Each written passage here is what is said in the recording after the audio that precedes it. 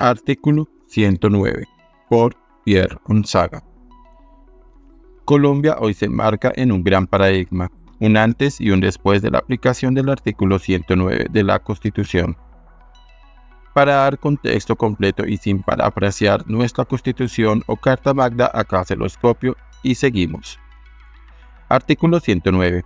El Estado concurrirá a la financiación de los partidos y movimientos políticos con personería jurídica, de conformidad con la ley. Las campañas que adelanten los partidos y movimientos con personería jurídica y los grupos significativos de ciudadanos que postulen candidatos serán financiados con recursos estatales mediante el sistema de reposición por votos depositados.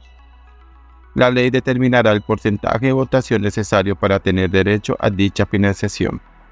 También se podrá limitar el monto de los gastos que los partidos, movimientos o candidatos puedan realizar en las campañas electorales, así como la máxima cantidad de contribuciones privadas de acuerdo con la ley.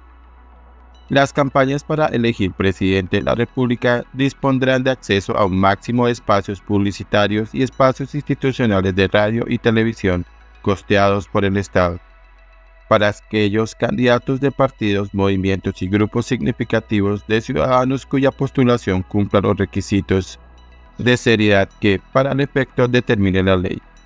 Para las elecciones que se celebren a partir de la vigencia del presente acto legislativo, la violación de los topes máximos de financiación de las campañas debidamente comprobada será sancionada con la pérdida de investidura o el cargo. Continúa.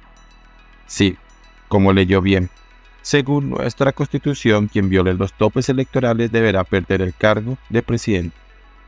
Recordemos que los famosos 500 millones de pesos que PECODE ingresó a la campaña electoral de Petro no solo fueron gastados para pagos de testigos electorales, sino que no fueron contabilizados, lo cual está prohibido. Dado el concepto del CNE, está claro que sí deben incluirse en los informes del gasto.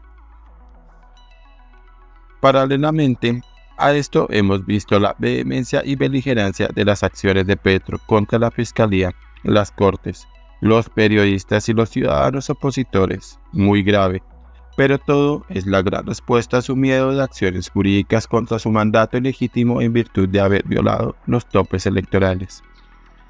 El día 2 de febrero, producto de discusiones profundas con quien fuera otro hora visible para el juicio político de Petro, Lucio con Abuchaibe, en la que terminé yo por lógica, se zanjó definitivamente la discusión de lo penal y político, y quedó ante todos claro que Lucio estaba promoviendo hechos penales que enredarían la claridad del logro del artículo 109.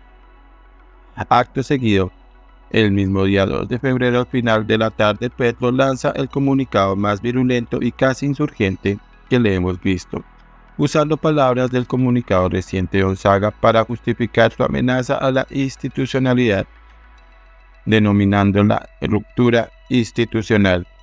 Que valga la aclaración, si alguien ha creado una profunda ruptura institucional, es Petro.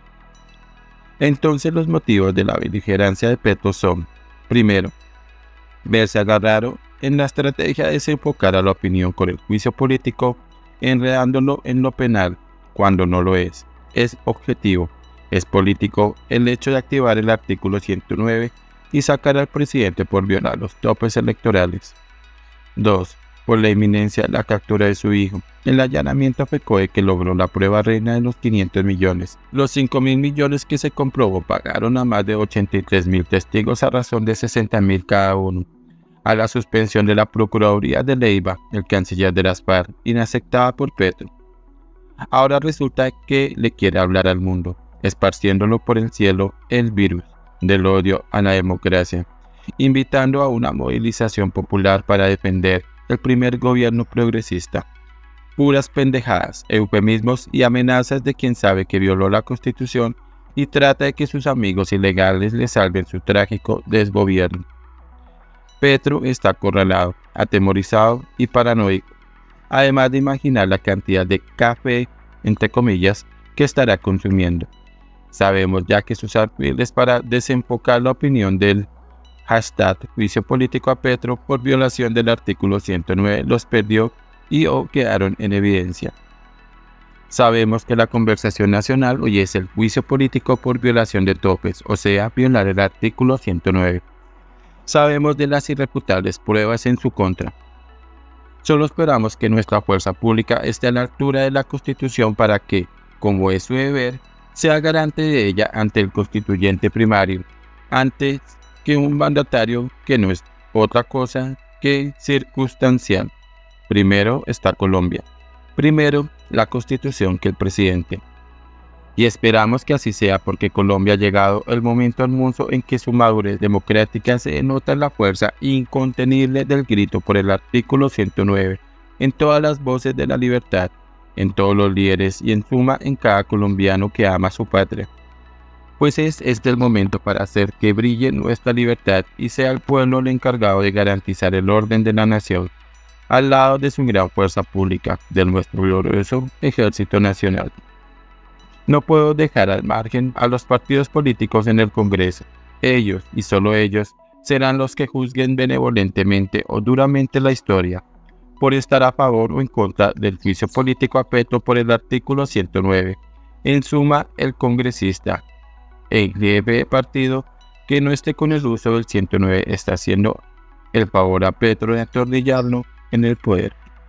Es inaudito que hoy haya jefes de partidos y abogados que aún se atrevan a decir que a Petro hay que dejarlo terminar. ¿Están a favor de que viole la Constitución? No. Nosotros los líderes ciudadanos y todos ustedes debemos señalar abierta y claramente quiénes están con el pueblo a favor de invocar el 109 y quiénes no. Y más aún estaremos encima de la votación para ver quiénes están con Petro y quiénes a favor de respetar la Constitución.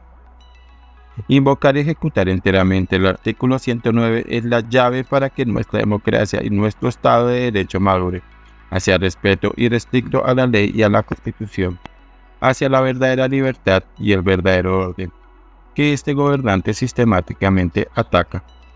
Hoy los llamados a defender la patria somos todos nosotros, los que la amamos, los que crecimos admirándola, respetándola y sacrificándonos por ella.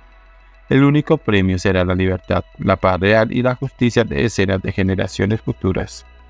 Nuestro legado generacional colombiano pasa como punto de partida por el 109 y nos llevará tan lejos como queramos en orden llegar. Vamos todos por el juicio político a Petro con el artículo 109. Fuera Petro.